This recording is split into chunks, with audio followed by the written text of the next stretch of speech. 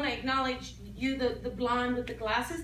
I, there is a lady here for you, um, and so I don't know if this is a mother or, or grandmother in spirit, um, but she just giving me. She's so strong. Like I'm in the back, and I almost she just is like, if you don't talk to her, I'm gonna have an issue. I'm gonna take all my way all the way home with you. And I was like, okay, all right, I'll, I'll talk to her. So can you understand a lady in spirit that would be your mother or your grandmother? Okay, is it your mother? May I ask? Because she's she just told me she's the mother. Um, do you understand something about sickness or, or long-term illness causing her passing? Okay, uh, would it be a, a, a cancer? Yes. Okay if I could uh, wave a magic wand to, to heal your pain, she says, I, I would I would do it. Um, if I could take back my passing to feel make you feel better, I would do it because she says you're just having such a hard time moving through it, you know, um, and that there's so much pain around you. But she just you have to know how much she just loves you and is,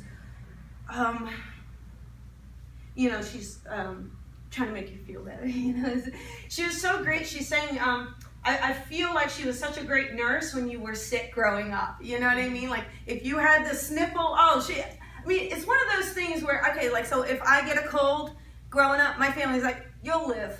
That was my family. God, you'll live. And I'm like, you know, dehydrated, having to be put in the hospital. You're fine.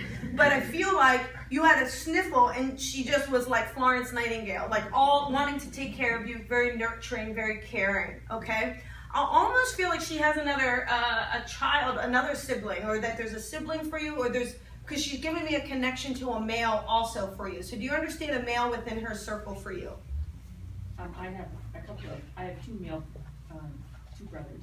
Okay, yeah, okay, perfect. There's one in particular that I feel like, um, I want to say it's the oldest one, okay, is really, um, and I feel like too, he is dealing with, um, he has a tough time like maybe expressing his emotions, processing, expressing how he feels, um, but she wants you to know is always keep that communication open with him. That sometimes maybe either you pull back or he's pulling back, but she's just saying keep the lines of communication open because the three of you are all all we have together. You, you know, you're all together. So so mm-hmm. always keep that open. Okay. She feels great. She says she wants to tell you how great she feels, um, and to let you know that you know you don't.